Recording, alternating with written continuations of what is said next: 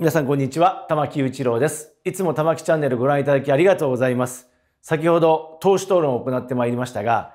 改めて党首討論とは何か解説したいと思います。玉木チ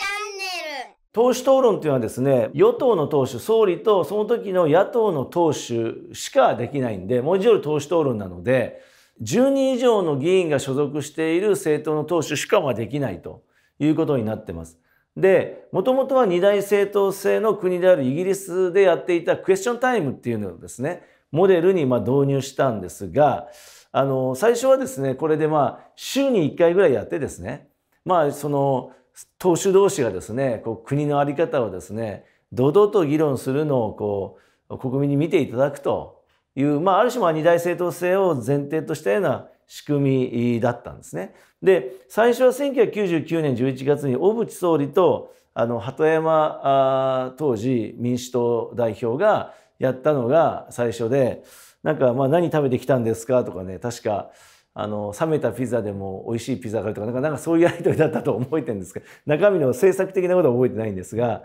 えー、がまあ最初はあったと。ただねその後あのまあ政党の数も非常に増えてきてですね1対1という感じじゃないしこの本家本元のイギリスでもですねもう二大政党じゃなくなっていて、えー、例えば自由民主党があったりスコットランド独立党があったりするので完全なまあ二大政党を前提にした1対1っていうことがもう崩れちゃってますよね。で加えてあのこれまあ、ある種1対1でやる前提にもともと40分の時間だったのがですね、まあ、多少45分には伸びたんですがただ1対1じゃなくても少なくとも今回でも4人の党首がやるわけですからもう私なんかその議席に応じて割り振られると3分しかできなかったということで、まあ、非常にまあその堂々たる討論というとは少しこうねかけ離れてきてるというのも事実だと思いますね。であとま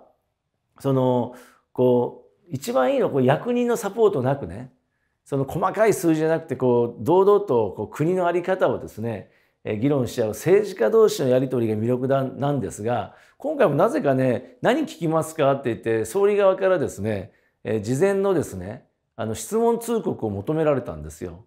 でそれだったら普通の予算委員会と変わらないしでこれ党首討論はですねいつもだったら我々が総理に聞くだけですけど総理から我々にも聞いていいってことになってるんでそれだったらこっちも総理に何こっちに聞くのか通告出せって話なんでなんかこうねその事実上役員サポートがないんだけどもなんか総理の周りが忖度したかなんか知りませんけど何聞くんですかって事前に聞いてきてるのはちょっとどうなのかなっていう気がしてやっぱ本来の政治家同士のね細かいその話ではなくてその時のこうなんか思いをぶつけ合うっていうねそういうことがあのやるべきなんですけどこれもちょっとなんか形骸化してきてるなという気がしますね。で週に1回予定したってことですけども週に1回どころか今回あの岸田総理とやるのは初めてでしたからねもう何年も総理就任してから、まあ、その意味ではちょっと党の数も増えてますからね全体で45分じゃなくて1人最低10分とか20分与えてまあ1時間半でも2時間でもやるというぐらいにねこれはまあ与党側が大きな心でやるべきだと私は思いますね。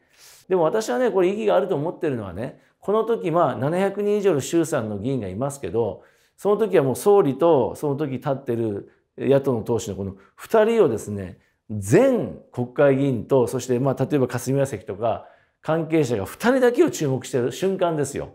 で議場にもですねちょっといつもとレイアウトを変えて衆参の議員が集まってくるのみんな座りきれないんで立って見てる人もいっぱいいるわけですよ。まあ、それぐらいある種ねこう緊張感のある場だしあの覚えてますかね？あの野田総理と当時の安倍、えー、当時野党だった自民党の総裁である安倍さんが向き合ってですねもうここで解散しましょうと言って野田さんが言って、ね、ボロ負けしたっていうですね。まああのまあちょっと結果はもういかがなものかと思いますけどもあの大きな政治を動かすあのきっかけにもなったということなんで、まあ、今回はね短い時間でしたけれども我々も議席を増やしてですね、えー、さらに時間を取って堂々たるですね議論を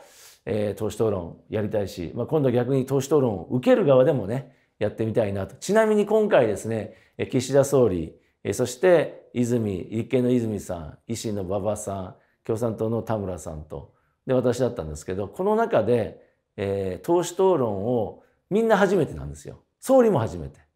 岸田さんもね。で安倍さんと菅さんとやった経験者は私だけなんですよ。だから今回は実はあの皆さん初めてで私だけが経験者ということだったんで今度はしっかりねあの時間を取ってやれるように統制拡大にも努めてまいりたいと思っております。それでは玉木チャンネル登録お願いします。